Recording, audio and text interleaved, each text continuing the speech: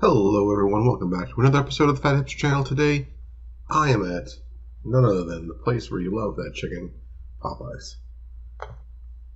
And today, I'm going to be trying their brand new chicken sandwich that just became available today uh, nationwide. Um, it was at some select locations during a test run, and that is a new chicken sandwich. This is the blackened chicken sandwich. Um, the main difference between this and the regular chicken sandwich is that this is not breaded.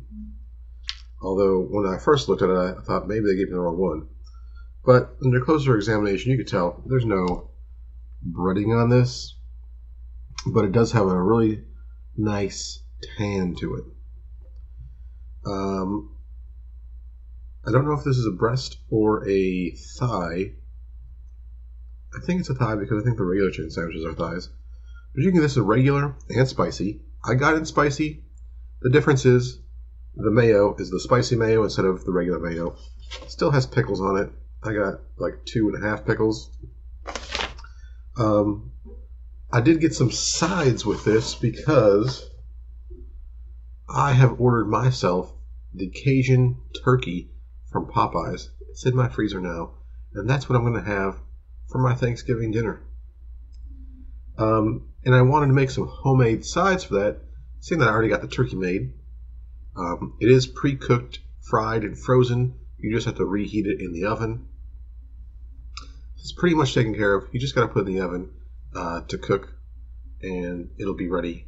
Uh, it doesn't have to reach a certain temperature. It only has to reach the temperature that you want to eat it at because it's already pre-cooked. Um, so, like I said, I wanted to make some homemade sides, kind of inspired by, but not necessarily copycats of um, the Popeyes sides. So I got one of um, all the sides except for the fries because I'm not going to do fries for Thanksgiving. I'm also going to do some sides that they no longer sell, uh, like green beans. Popeyes used to have uh, green beans you can get as a side. They do not have that anymore. But I'm going to do some research and see what it looks like, what's inside of it, and I'm going to try to make uh, something inspired by, but not necessarily a copycat of. There's two things I want to bring your attention to, though. This is the regular size for a side. According to the website, what I looked up, it's supposed to be six and a half ounces. The large side is supposed to be 16 ounces, um, which is a pint. Kind of looks like a size of a pint. Six and a half ounces. This is the macaroni and cheese that costs over four dollars for this size. Okay, it better be full, right? This is what I got. It doesn't even have enough to cover the bottom. You can still see the bottom of it. It's about filled to right here. I put this on my kitchen scale. It weighed four ounces with the cup.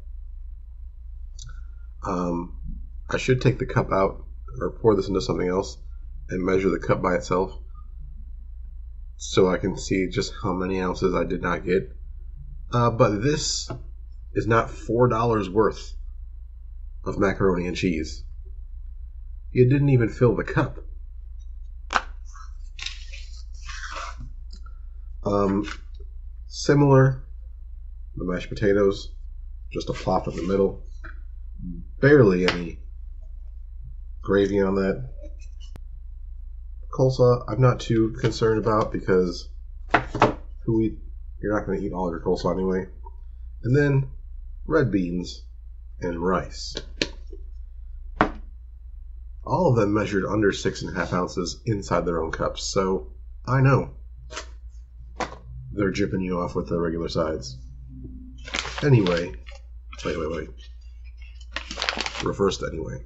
I also ordered sweet tea. This color is not a sweet tea.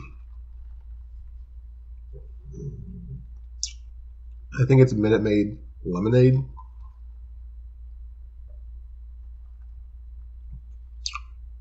It's not even their good premium lemonade. It's the high fructose corn syrup out of the bag machine lemonade. Not sweet tea. Okay. Now, anyway, they did give me the blackened chicken sandwich, which is almost upset when I first saw it because it kind of looked like it was breaded, but it is not. Here's a little piece that I tore off it just so I can taste that blackened chicken by itself. The exterior kind of looks dry, but the interior looks moist. Let's give it a taste.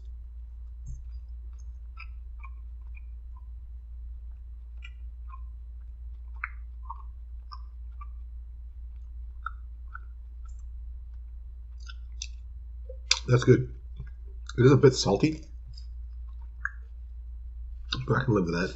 It's not like overly salty. but It isn't noticeably high in saltiness. What it, it lacks the crunch that the, the fried chicken sandwiches have. There is a little a little crisp just on the exterior. But the interior is very juicy.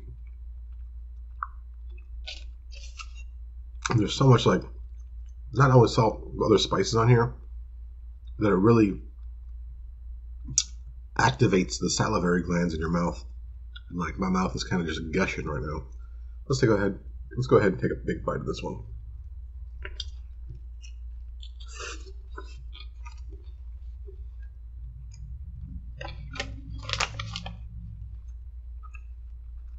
Mm.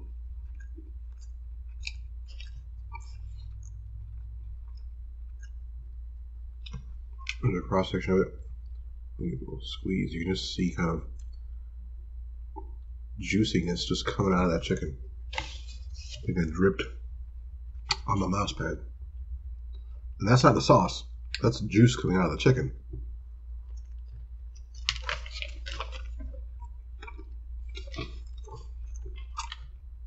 It might be pickle juice.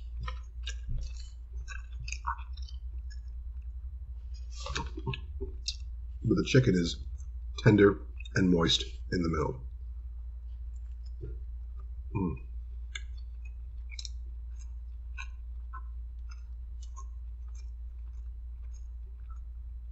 That's really tasty.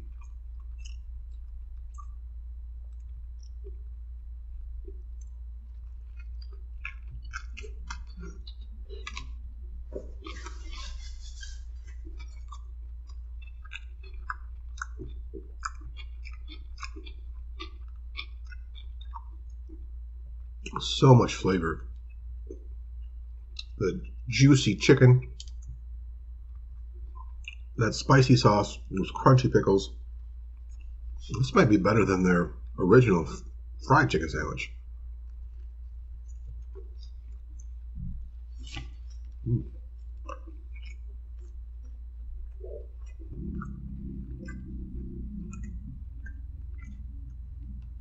It is missing the crunch from the breading of the original chicken sandwich. But the seasoning on this and like the amount of like juicy chicken tenderness I think is at least double the original chicken sandwich. Mm.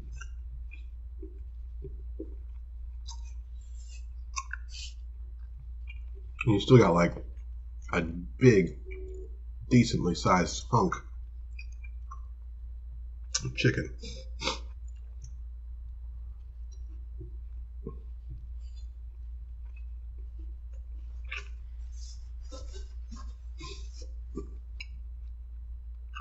I love it. Their buns are nice and soft with a little bit of sweetness to them. Believe it's a t- potato bun. But the chicken, the seasoning, the sauce, the pickles, everything together.